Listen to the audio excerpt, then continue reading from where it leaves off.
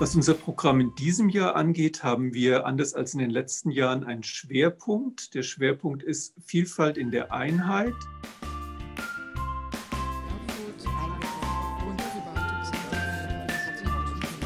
Die Frage, warum das Bundesministerium des Innern für Bau und Heimat die Regionalbuchtage äh, fördert, kann man ganz einfach beantworten. Weil Regionalbuchtage das wiedergeben, was uns sehr am Herzen liegt, nämlich das künstlerische Schaffen von Menschen in einem äh, kleineren Raum, in einem Dorf, in einer Stadt oder in einer Region. Menschen leben und definieren sich immer in kleinen Räumen. Und wenn sie das literarisch zum Ausdruck bringen, dann äh, vermitteln sie ein Lebensgefühl, das wir politisch fördern wollen.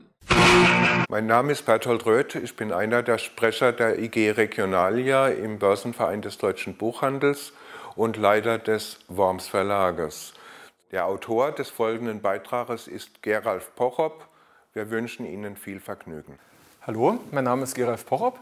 Äh, ich bin Autor des Buches äh, Untergrund war Strategie, Punk in der DDR zwischen Rebellion und Repression. Ähm, ich freue mich ganz doll, dass ich hier nach Worms eingeladen wurde, um diese Lesung zu halten.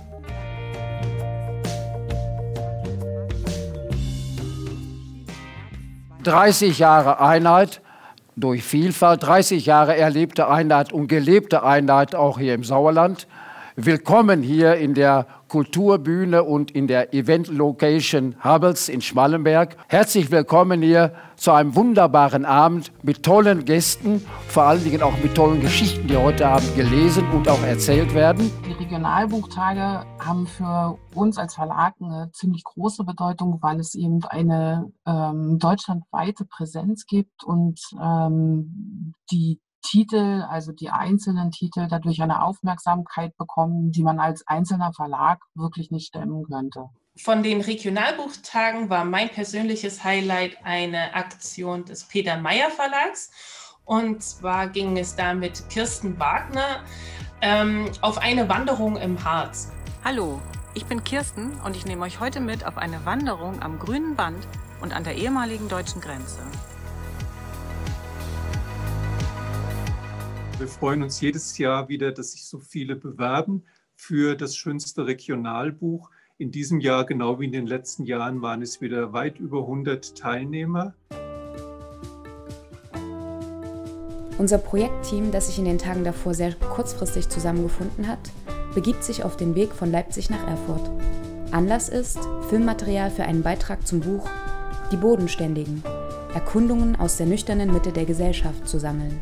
Nachdem wir den Preis äh, für das schönste Regionalbuch 2020 ähm, für die Bodenständigen von Barbara Theriot entgegengenommen haben, war halt sehr schnell ein großes Presseecho da und ähm, auch die Bestellungen stiegen sehr stark an.